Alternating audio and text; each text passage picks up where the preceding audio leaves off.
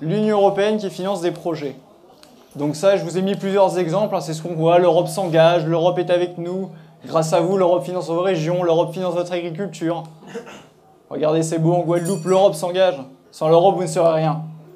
Mais ce qui est important à savoir, c'est que quand il y a des financements comme ça européens et qu'il y a toute cette promotion, euh, l'Union européenne finance cette chose, il y a une obligation pour le récepteur de ces aides de mettre le logo et le drapeau de l'Union européenne et de dire ça a été fait grâce à l'Union européenne. J'étais il peu de temps, j'ai fait cette conférence il y a peu de temps en Haute-Saône, à Filin.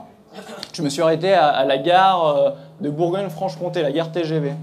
Et c'était intéressant parce que sur un gros pylône sur tout l'axe de l'est du TGV, il y avait marqué un énorme drapeau de l'Union européenne. L'Union européenne a financé la gare et le trajet. J'ai regardé un peu après sur Internet, l'Union européenne a financé 8% de toute la gare. Tout le reste, c'était l'État, c'était la région, etc. Et le seul organisme qui été mis en avant, c'est l'Union européenne. C'est vous dire le degré de propagande qu'il y a derrière et, qu'on va voir euh, au fur et à mesure. Pareil, Monsieur Hollande, il y a peu de temps au Salon de l'Agriculture, d'ailleurs on y était, Monsieur Hollande, qu'est-ce qu'il nous dit? Les populistes disent qu'il faut sortir de l'UE, mais si on écoutait ces populistes, il n'y aurait même plus d'aide qui serait donnée aux agriculteurs, plus de garantie des prix. Alors l'ironie en plus, c'est que la garantie des prix, euh, un mois et demi après, euh, l'Union européenne a fait sauter le 1er avril la garantie sur les prix du lait. Donc euh, M. Hollande donnait raison à ce moment-là. Et en plus de ça, on va voir que ce que dit M. Hollande, est une hérésie en soi parce qu'on va voir le cheminement des fonds européens.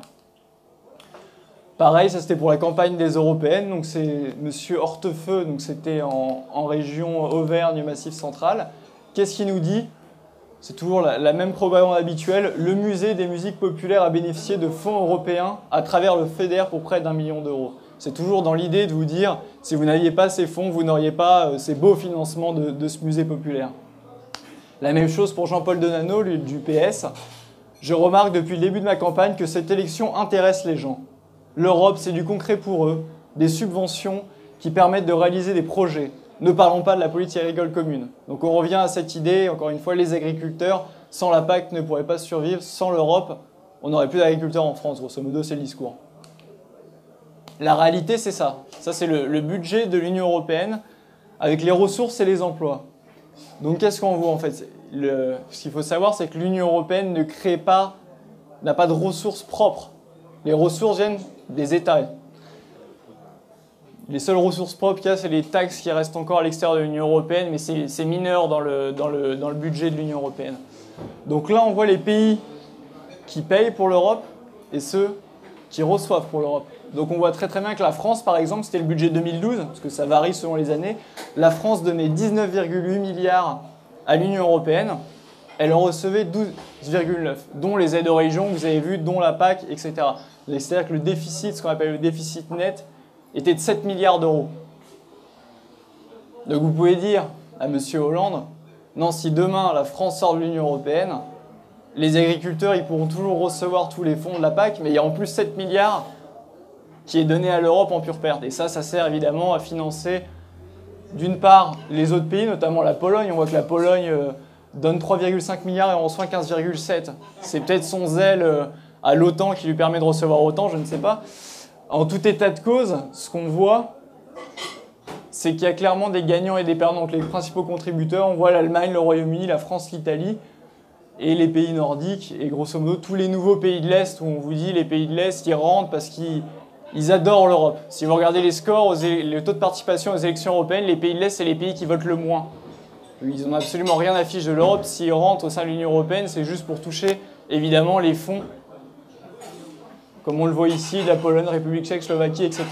C'est pas par un désir d'Europe ou une soif d'Europe. C'est la, la belle fable qu'on vous raconte. Ça, c'est la même chose. C'est le budget, par contre, c'est les chiffres de 2013. Donc, vous voyez que ça varie un tout petit peu. En 2013, on donnait 22,2 milliards, d'euros et on en recevait 14,2. C'est-à-dire que le déficit, maintenant, il était plus de 7 milliards, il était de 8 milliards d'euros. Donc encore une fois, c'est ce que je vous dis pour l'agriculture, mais ça vaut pour le reste.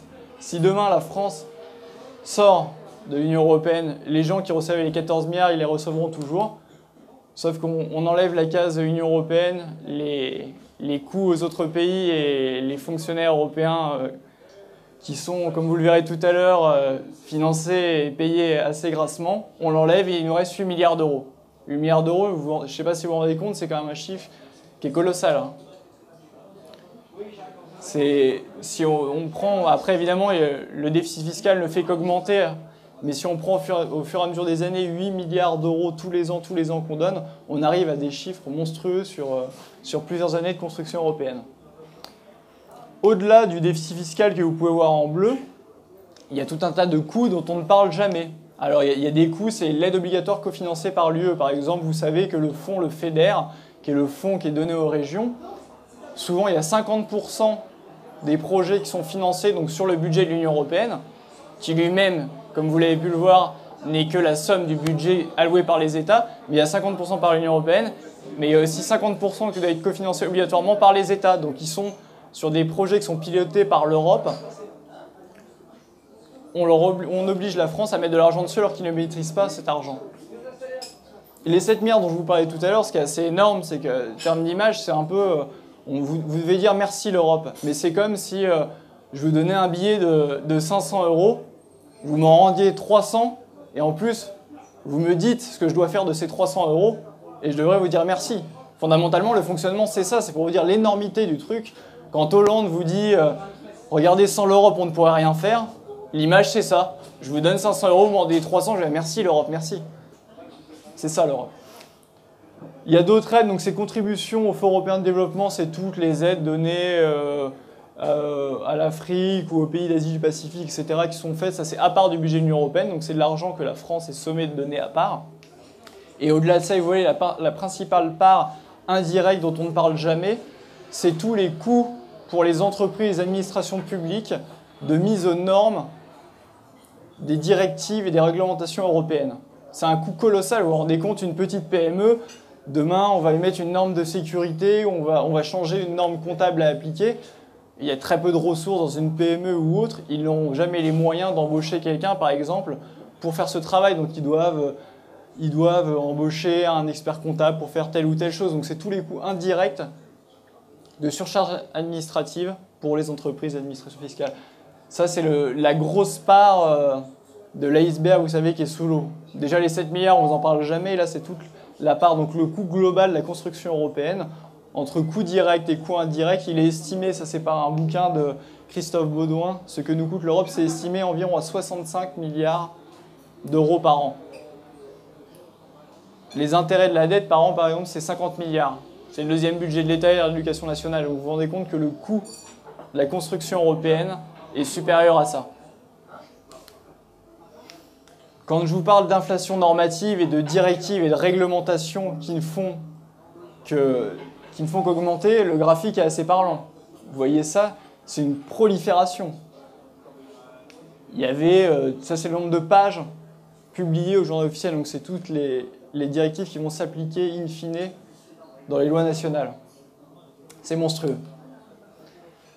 En plus de ça, après, il y a l'utilisation du budget de l'UE. Par exemple, il y a eu la, Cour des comptes européenne qui a estimé qu'il y a eu 7 milliards d'euros dépensés par erreur. Vous rendez compte, 7 milliards par erreur, c'est comme ça, où j'ai fait une petite erreur, on l'a envoyé, c'est 7 milliards d'euros, c'est grosso modo le déficit net de la France que je vous ai montré tout à l'heure en 2012. 7 milliards d'euros dépensés par erreur.